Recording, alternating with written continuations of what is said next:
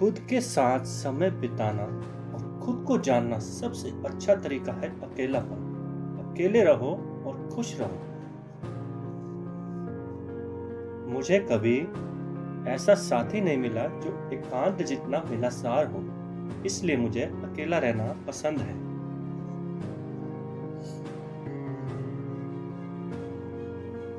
एकांत के बिना महान लक्ष्य को प्राप्त करना संभव नहीं है।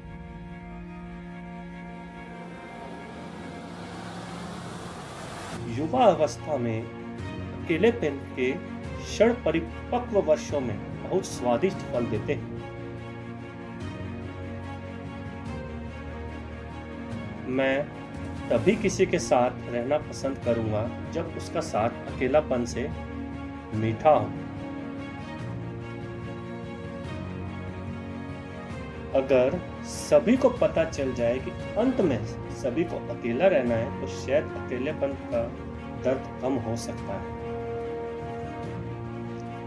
हम दोस्त नहीं हैं, ना ही हम दुश्मन हैं, हम सिर्फ़ अजनबी हैं।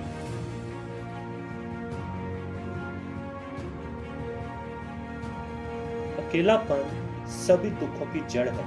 सभी दुख एक कमरे में अकेले बैठने से पैदा होते हैं।